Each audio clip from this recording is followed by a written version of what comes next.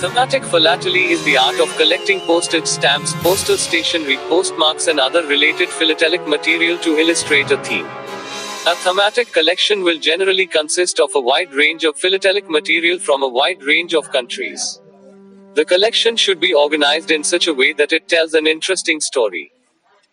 Topical or thematic stamp collecting is the collecting of postage stamps relating to a particular subject or concept.